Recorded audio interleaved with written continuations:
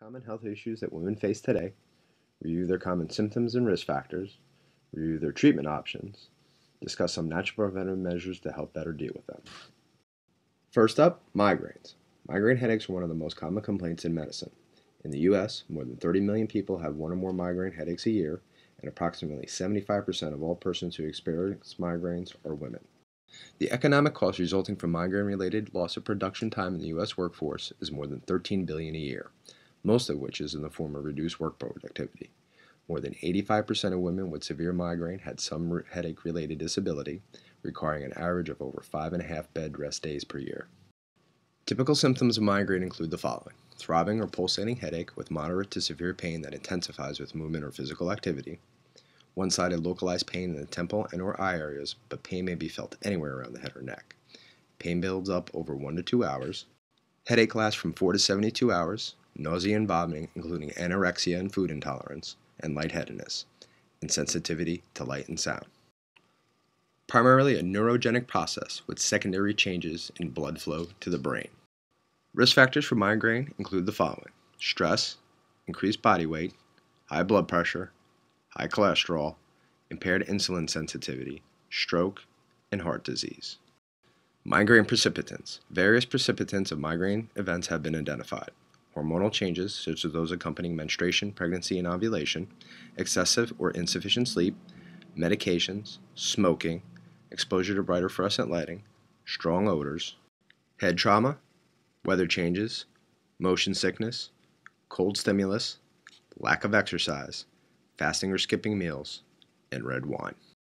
Also, certain foods with food additives have been suggested as potential precipitants of migraine, including caffeine, artificial sweeteners, MSG, citrus fruits, foods containing tyramine, and meats with nitrites. Medical treatment for migraines, nonsteroidal anti-inflammatory drugs. However, in many patients, migraines progress to chronic migraines from overuse of symptomatic medication, which is considered the most important risk factor for migraine progression. Medication overuse headache can occur with any analgesic, including acetaminophen or nonsteroidal anti-inflammatory drugs such as ibuprofen, naproxen, and aspirin. The effect of anti-inflammatory medications actually induced migraine progression in patients with a high frequency of headaches. Other measures reduction of migraine triggers such as lack of sleep, fatigue, stress, and certain foods, non pharmacological therapies such as biofeedback and cognitive behavior therapy, and integrated medicine such as melatonin, butterbur, riboflavin, magnesium, feverfew, and coenzyme Q10 supplementation. Next up, scoliosis curvature of the spine to one side when looking at it from the front or back. Scoliosis affects about 7 million people in the U.S. Most are diagnosed with scoliosis between the ages of 10 and 15, but it can also affect infants and adults. It affects people of all races and all socioeconomic classes and is found in both males and females, but girls are eight times more likely to have it. Most of the time, it does not cause pain in children or teens, so some signs to look for it are one shoulder higher than the other, one shoulder blade more noticeable, the head is not directly over the waist, one hip is more prominent than the other, the ribs appear to be at different heights, changes over skin of the spine, such as dimples, hairy patches, or color changes, and leaning of the entire body to one side. Medical treatment for scoliosis. Juvenile scoliosis, ages 3 to 10, has the highest risk of getting worse, so bracing is tried early if the curve is not too severe. The goal is to prevent the child's curve from getting worse until they stop growing. Since the curve starts early, it has a lot of time left to grow. There is a higher chance of needing more aggressive treatment or surgery. However, bracing is not normally effective in these cases and must be worn 23 hours a day, is very uncomfortable, severely limits most physical activities, and subjects the child to teasing and bullying by their peers. For adolescent scoliosis, ages 10 to bone maturity, if the curve is below 25 degrees, it is observed by routine x rays and measurements. If the curve stays below 25 degrees, no other treatment is attempted. If the curve is between 25 and 40 degrees, a brace is recommended which again is not designed to correct the curve, but only used to help slow or stop the curve from getting worse. And if the curve is greater than 40 degrees, then surgery is indicated. Next, dysmenorrhea, defined as a difficult menstrual flow or painful menstruation. It is one of the most common gynecological complaints in young women, affecting more than 50% of menstruating women. Although not life threatening, it can be debilitating and psychologically taxing for many women. It is responsible for significant absenteeism from work and it's the most common reason for school absence among adolescents. resulting in a profound negative impact on a woman's day to day life. Besides missing work or school, she may be unable to participate in sports or other activities and experience additional emotional distress. And some women have severe pain that can be incapacitating. Dysmenorrhea is a public health problem associated with substantial economic loss related to work absences at an estimated 6 million work hours and $2 billion in the U.S. Typical symptoms include the following onset shortly after first menarche, usual duration of 2 to 3 days, often starting several hours before or just after the menstrual flow cramping or labor like pain, and a background of constant lower abdominal pain radiating to the back or thigh. Besides dysmenorrhea, patients with premenstrual dysphoric disorder, formerly premenstrual syndrome, may have bloating, body aches, migraine headaches, breast tenderness, and emotional complaints. The risk factors for more severe episodes of dysmenorrhea are early age at menarche, long menstrual periods, heavy menstrual flow, smoking, positive family history, obesity, and alcohol consumption. Medical treatment for dysmenorrhea. Treatment of dysmenorrhea is aimed at providing symptomatic relief only and typically includes nonsteroidal anti inflammatory drugs and oral contraceptives. Preventative measures lifestyle modification, smoking cessation, and exercise. Other measures omega 3 fatty acids, vitamin E, vitamin B1, magnesium, calcium, melatonin, cramp bark, fennel, heat, aromatherapy, massage, acupressure, and chiropractic. Next up, irritable bowel syndrome, a digestive disorder that affects 15% of the U.S. population and affects women two to three times more than men.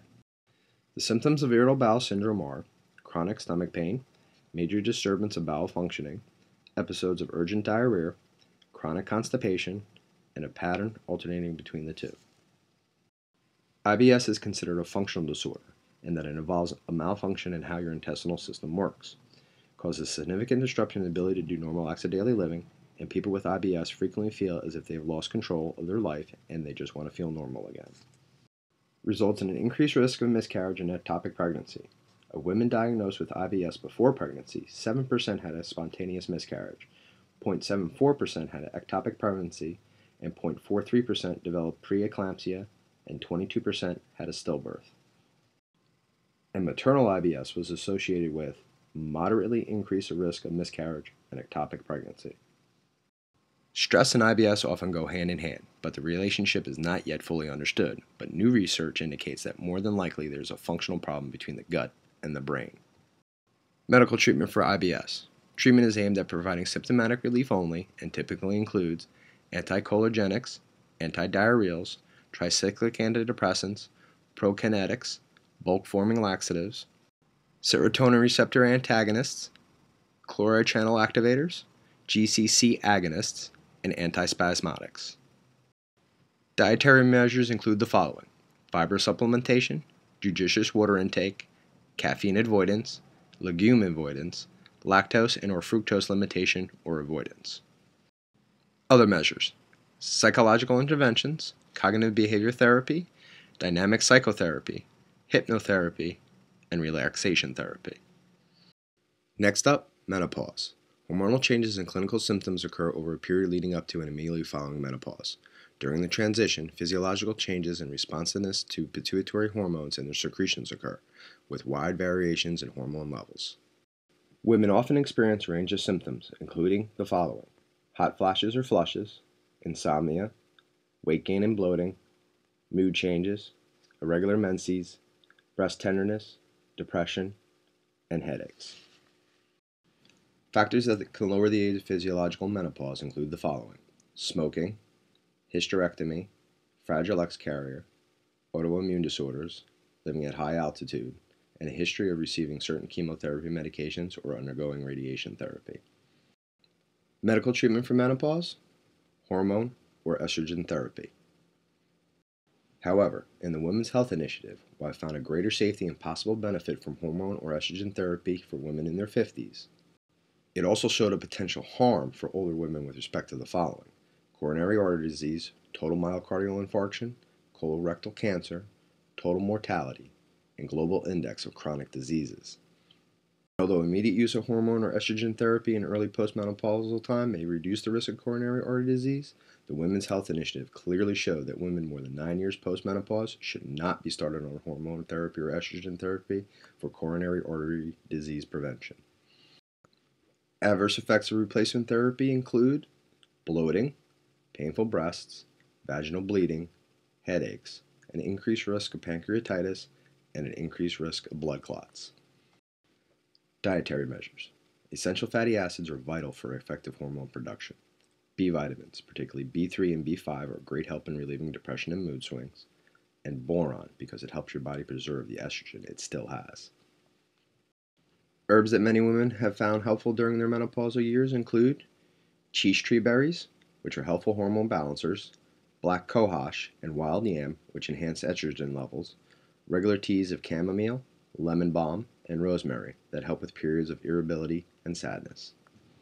Avoid certain foods. Women who eat more sugar experience more hormonal problems than those who moderate their sugar intake, both in premenopause and during menopause itself. Caffeine and alcohol may also trigger hot flashes and affect hormone production, leading to more frequent and greater mood swings. Other measures. Exercise keeps the body healthy, and regular walking and other aerobic activity is helpful during menopause and gentle yoga can assist with joint pain and promote flexibility. Next up, osteoporosis. Osteoporosis is defined as bone mineral density equal to or greater than 2.5 standard deviations below the peak bone mass, or T score. Bone loss accelerates in the late menopausal transition and continues for the first few years after menopause. The overall effect of menopausal bone loss is a reduction of bone strength, leading to an increased risk of fracture. The younger the woman is when ovarian function ceases, the more severe bone loss is likely to be. Similarly, the lower the woman's bone mass is when she enters menopause, the more severe the osteoporosis will be. Medical treatment for preventing fractures include the following biphosphonates, selective estrogen receptor modulators, calcitonin, monoclonal antibodies, hormonal medications, estrogen therapy, and hormonal replacement therapy. The main adverse effects of biphosphonates continue to be gastrointestinal upset and reflux, and patients with significant GERD should be discouraged from biphosphonate use. And in May 2010, the Journal of the American Medical Association reported a possible association between biphosphonates and atypical femoral fractures. And in October 2013, the Chest Journal of the American College of Chest Physicians reported that the use of biphosphonates was linked with a serious risk of atrial fibrillation and stroke. In just this March 2014, the American Journal of Cardiology published a study that showed that the use of biphosphonates was linked with a greater risk of atrial fibrillation requiring hospitalization. Dietary measures. Supplementation with calcium remains a mainstay of prevention, as does vitamin D supplementation and regular weight bearing exercise. However, excessive salt, animal protein, alcohol, and caffeine offset these benefits. Last up, osteoarthritis or degenerative joint disease. Osteoarthritis is the most common type of joint disease, affecting more than 20 million individuals in the U.S. In individuals older than 55 years, the prevalence of osteoarthritis is higher among women than among men. Women are especially susceptible to osteoarthritis in the joints of the fingers. Women also have osteoarthritis in the knee joints more frequently than men do, with a female to male incidence ratio of 1.7 to 1 and women are also more prone to erosive arthritis with a female to male ratio of about 12 to 1. A degenerative disorder arising from the breakdown of cartilage in the joints predominantly involves the weight bearing joints, including the knees, hips, neck, lower back, and feet, and other commonly affected joints include the shoulders, wrists, and hands. Costs associated with osteoarthritis can be particularly significant for elderly persons who face potential loss of independence and who may need help with daily living activities. Symptoms include the following deep, achy joint pain exacerbated by extensive use, reduced range of motion and crepitus, and stiffness during rest, with morning joint stiffness usually lasting less than half an hour. Risk factors for osteoarthritis include the following age, obesity, trauma, genetics, reduced levels of sex hormones, muscle weakness, repetitive use, infection, crystal deposition, previous inflammatory arthritis, diabetes, disorders of the bone, and previous surgical procedure of the joint. Medical treatment. No proven disease or structure modifying drugs for osteoarthritis are known, so pharmacological treatment is directed at symptom relief only and includes topical nonsteroidal anti inflammatory drugs, oral NSAIDs, Tylenol, tramadol, steroid injections, and surgery. However, the Agency for Healthcare Research and Quality findings found Tylenol was modestly inferior to NSAIDs in reducing osteoarthritic pain, but was associated with a lower risk of GI adverse effects. On the other hand, acetaminophen poses a higher risk of liver injury. NSAIDs were associated with a risk of ulcer-related complications and symptomatic ulcers. The risk of serious GI adverse effects was found to be higher with naproxen than with ibuprofen, but ibuprofen was associated with an increased risk of heart attack, and all NSAIDs had deleterious effects on blood pressure, edema, and kidney function. And evidence regarding frequent steroid injections leads to subsequent damage to cartilage. Accordingly, it is recommended that no more than three injections per year be delivered to any individual osteoarthritic joint. Other measures heat and cold, weight loss, and exercise. The primary cause of nerve irritation in the body is a spinal imbalance called subluxation. Spinal distortions cause nervous imbalance, decreased blood flow, and increased tissue breakdown, which leads to irritation of delicate muscles and nervous system tissue. If you interfere with the nerves that supply these tissues, would it cause them to function better or worse? A 2004 study found that the function of nerves is improved when mechanical stress is lifted through chiropractic adjustments. This results in better communication between the brain and body. Can you see a common theme?